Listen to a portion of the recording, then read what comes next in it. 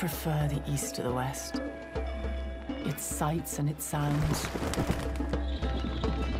In the desert, every newcomer is an enemy till you know him to be a friend.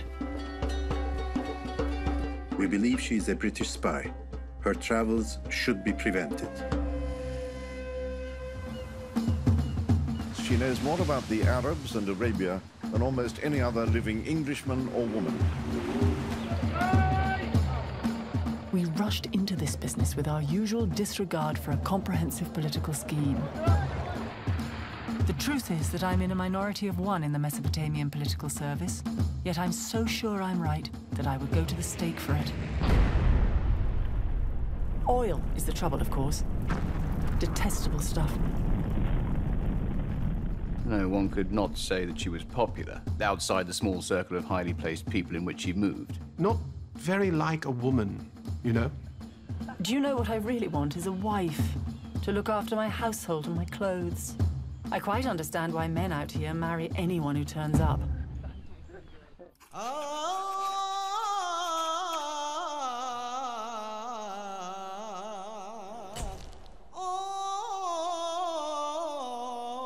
The Arab prince and the English woman, who were trying to build up a new Mesopotamia between them. You may rely on this. I'll never engage in making kings again. It's too great a strain. I have never wavered in my belief that she came to her end by her own deliberate act. Don't tell anyone that the me they knew will not come back in the me that returns. Perhaps they will not find out.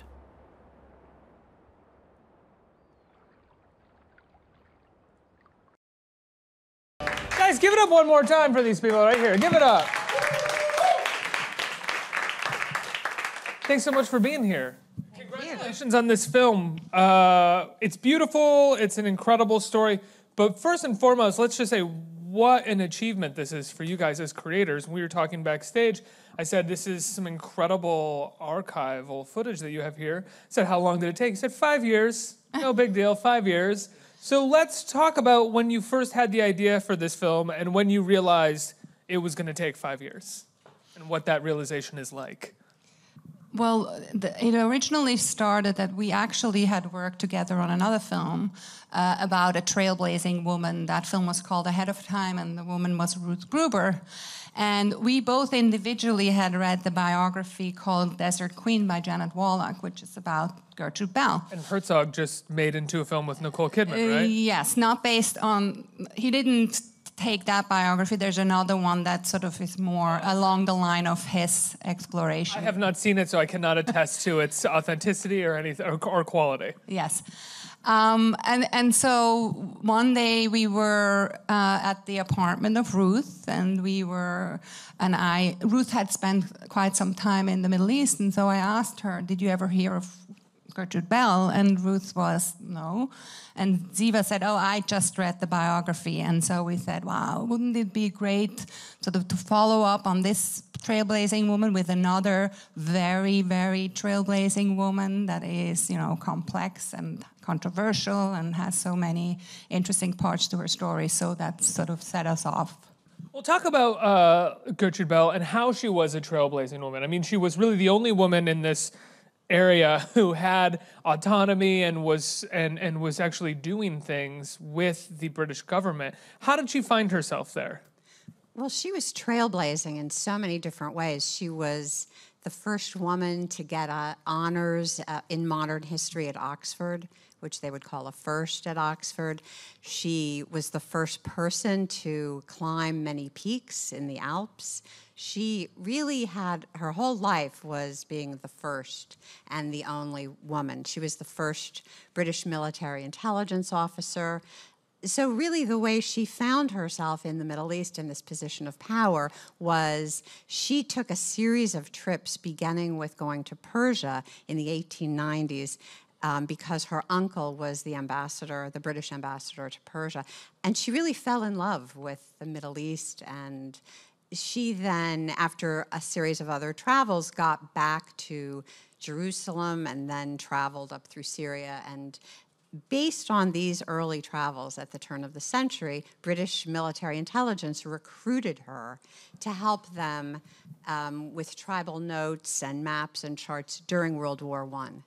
And so she worked with Lawrence, T.E. Lawrence, also known as Lawrence of Arabia, in the Arab Bureau in Cairo, and then went to Iraq, where she established the Iraq Museum and helped draw the borders.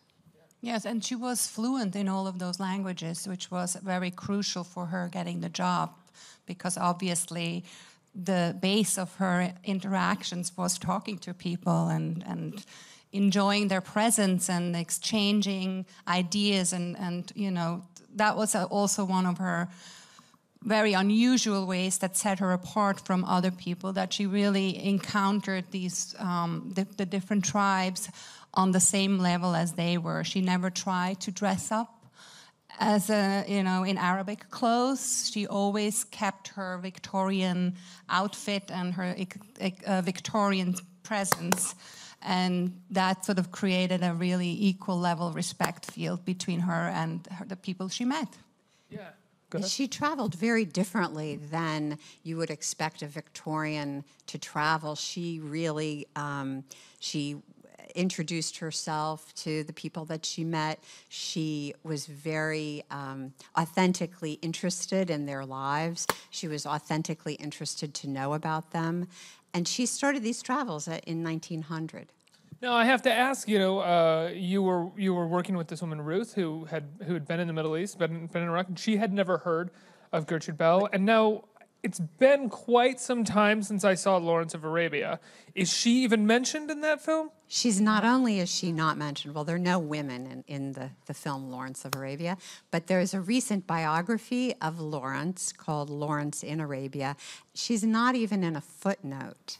Why do you think that is? Well, actually, another film that sort of refers to her is The English Patient, which probably many of you have seen.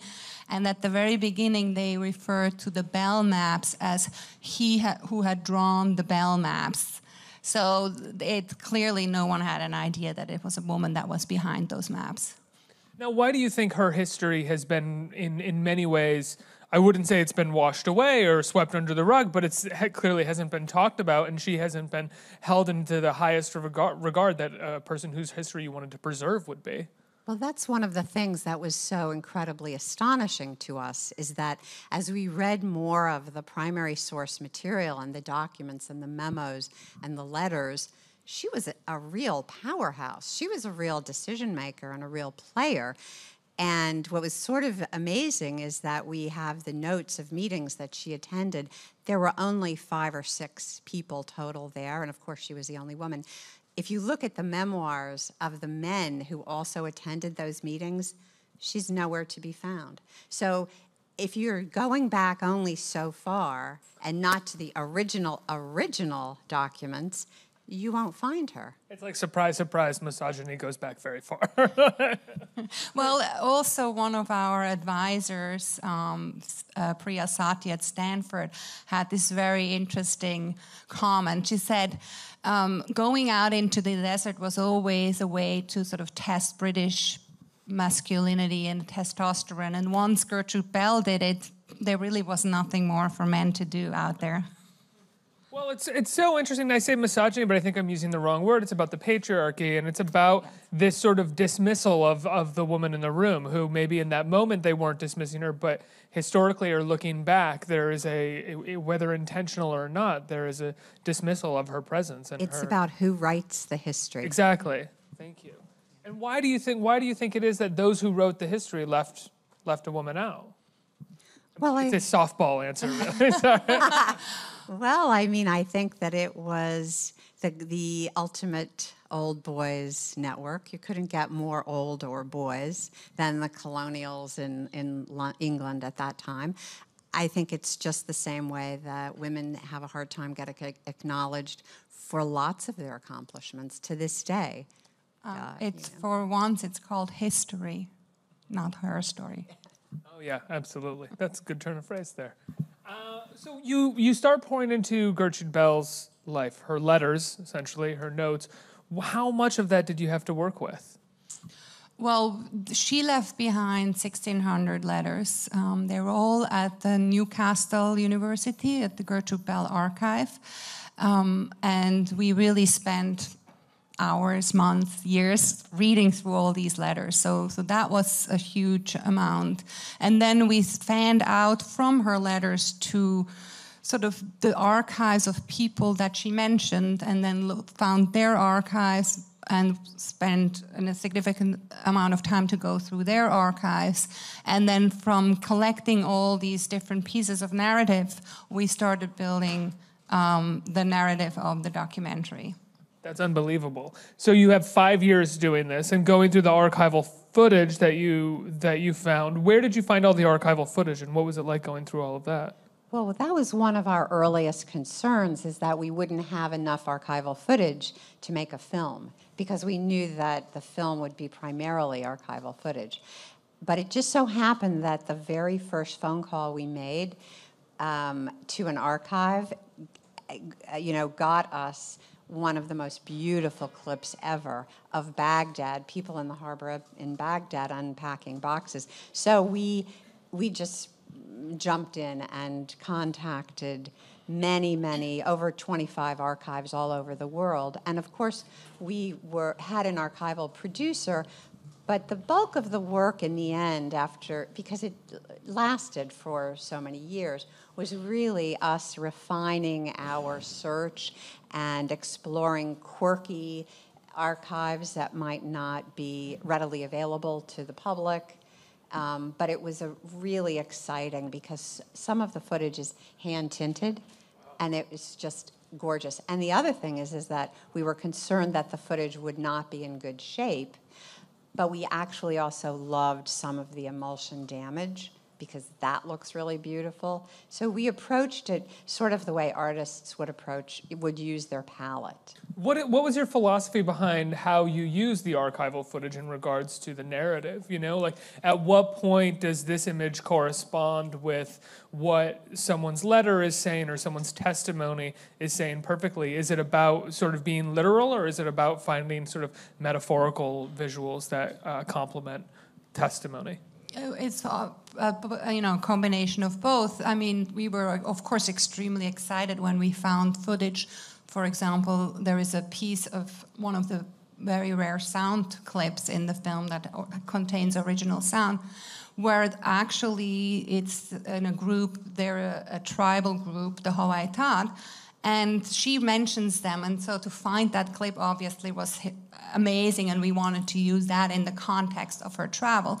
But then of course there are all these other moments the more intimate personal moments in her story which were very important to us because it it also creates the arc of the character and the narrative. And so in those moments we would refer to clips that were more evocative. They were, you know, there could be water, close-ups of water, or even a bird or the weeds waving. They were basically representative of the emotional inner world of Gertrude Bell at that moment.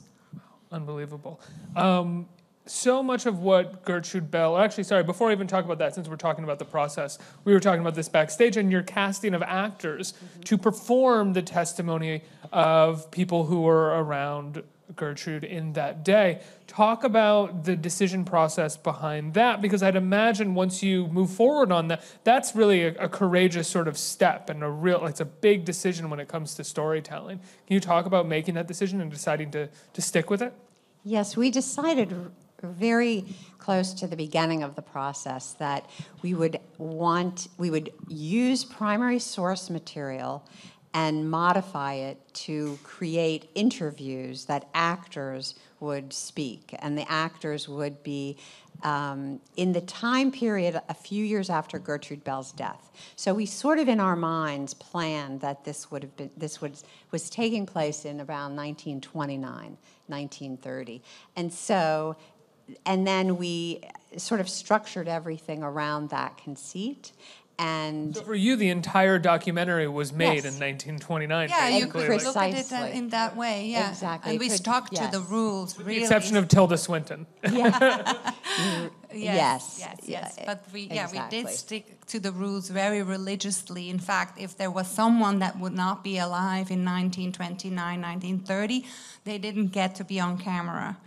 Yes, because uh, we would use then letters and, and a voiceover. For example, there is a, a scene where Lord Cromer, who was a friend of hers, actually writes to uh, to the military um, in Cairo and recommends her highly as the only English man or woman that could act, do this, do the job. And he was dead by the time um, we set our our limit. Our parameters. Uh, and you shot these interviews on, like you were telling me, 16 millimeter film, right? That you transferred to, that you then converted to black and white, which is, I imagine, so much fun to do in a shoot. Yes, we really. Um, To hear the sound of film spooling, it's like an amazing sound. Well, we were really um, focused on how the film would look, the footage that we shot. And we experimented quite a lot with video because there are all these, um, you know, lots of people said, well, if you take video and you do this to it, it'll look like film. And if you take video and you do that to it, nothing really felt authentic to us. And so we first shot a test with black and white, 16 millimeter black and white, but didn't like the grain. And so then we did the shoot with 16 millimeter color because we had more latitude in terms of what the final footage would look like. And we also used as a pattern portraits that were taken uh, in the 1920s in Australia of, um, of inmates of prisons. But they were so beautiful. They're mug shots. Yeah, mug shots. And also some portraits taken when people arrived at Ellis Island. So we had very, very specific ideas in our head as what we wanted mm-hmm. things to look like.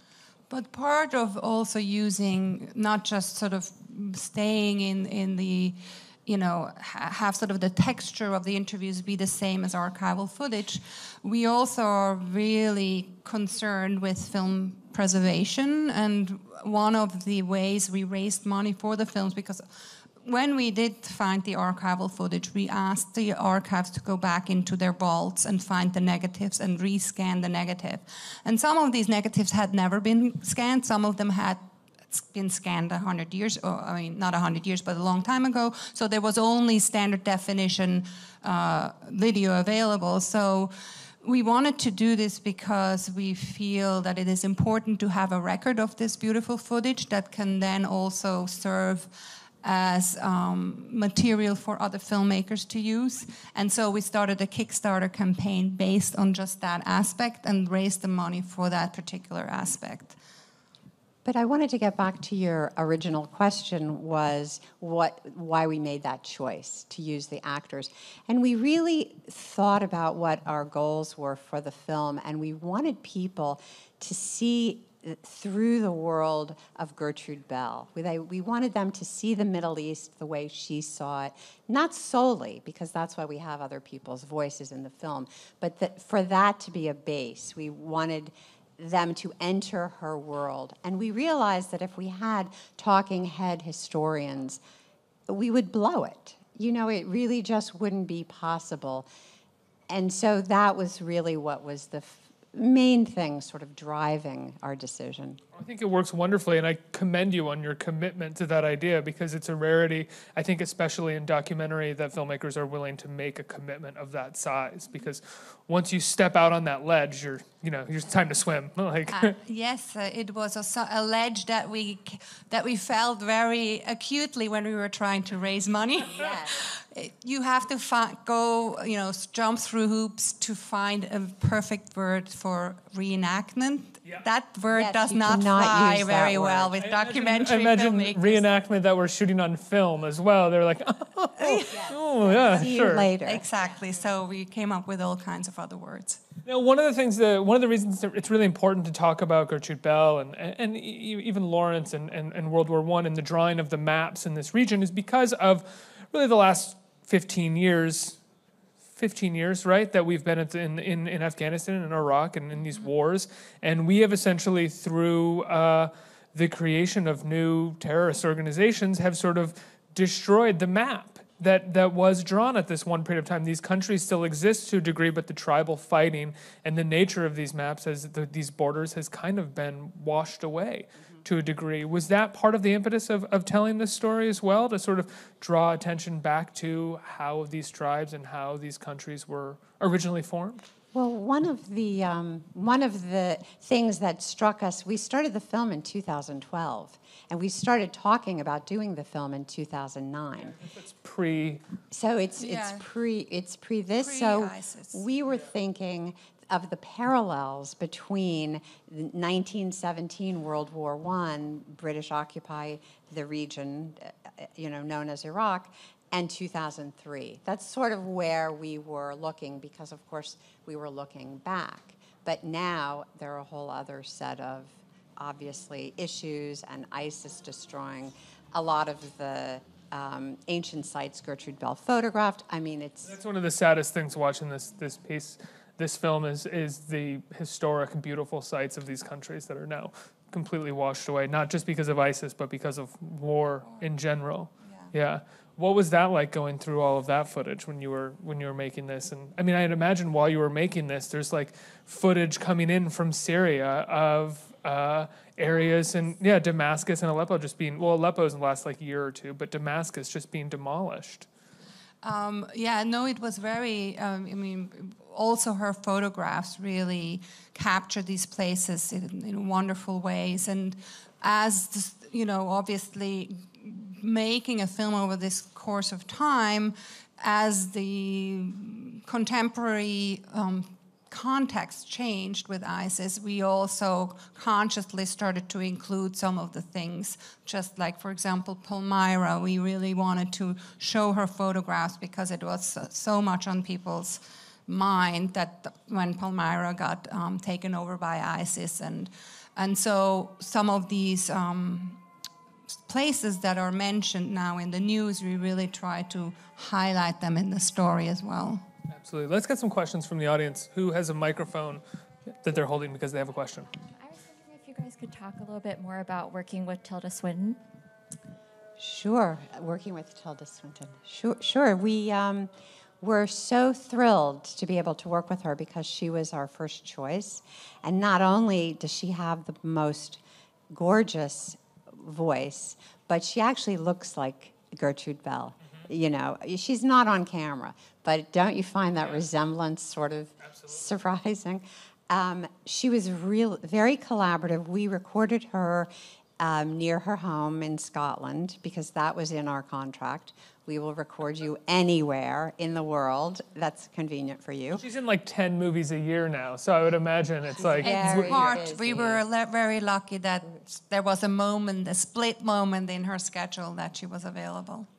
and she was very smart and uh, just spot on all the time and just the way you would imagine fantastic Yes, she actually had been cast 10 years earlier in a film about Gertrude Bell, and that film never happened. So she knew of her, and she was very thrilled to be part of a project about Gertrude Bell. So that was one of the advantages we had to. We approached her with a topic that she was once involved with. That's so cool. Next question. Hi, um, out of the, all the five years you've been gathering all this information, what was the most interesting fact that you found about Gertrude that stuck out to you? the most interesting fact i think it was one of the things that really that sort of surprised us in going through her letters was how dogged she was how she personally got the high commissioner who was um, a really like nasty person, you know, like uh, did not like the people of the region. She personally got him fired. They basically were trying to get each other fired because we found their letters to their um, supervisors in, in London, and she won. And, sh and the other thing that was a little surprising was that it was very difficult for her to get a space to create the Iraq Museum. It seems so obvious to us now, but she worked for like three years until they had, they would gave her a space for all of the artifacts. We, another interesting aspect that we found out about her that is I mean, obviously, she wrote this uh, unbelievable letters, long, long letters. At some point in her life, she actually wrote a diary and the letters at the same time. So she was really an avid writer, and the art of letter writing is something I think that we're losing. So that was wonderful to work and actually be touching the actual letters. I haven't written a real letter in a decade. Wow. My emails are like texts now. You know, And- they're just like, "Hey, I need this. Can we do this? Okay, bye." And don't even speak of like a five page letter or 10 page letter. Never. uh, I think we have time for one more question. Hey guys. Um, so I was wondering, uh, since you know, does she have any issues being a woman, like going th- uh, uh, going through the Middle East? Um, any clashes with the culture, and also uh, what drew her to the Middle East besides, like, as opposed to the British Empire? Like, they have different interests, obviously. Well, we feel like she um, she expressed a lot of freedom when she was in the Middle East, and you have to realize she was born in 1868, and she and Victorian uh, England was heavily, heavily constrained. She had so many restrictions when she was at home. She couldn't go unchaperoned with a man anywhere. This was like a really incredibly different culture. And I think that she felt she came into her own. She was accepted as an equal by the Arabs that she met and the sheikhs that she met. And she has this great line where she says, I am a person. And she felt as though she had a place at the table, that she could make a difference, that she was sort of given a voice in the region in a way that she wasn't in England. It's a beautiful film. Congratulations. It's incredible work. When can people see Letters from Baghdad? How can people see it? Well, we're releasing this coming Friday at the Angelika here in New York and Lincoln Plaza. And then we're here for a whole week, hopefully longer. And then afterwards, LA, DC, Dallas, Denver, Santa Fe. So many cities to follow. And we're currently playing in the UK. Oh, yes, in over 40 menus. Thank you so much for being here. Congratulations. Letters from Baghdad, everybody. Thank you. Thank you.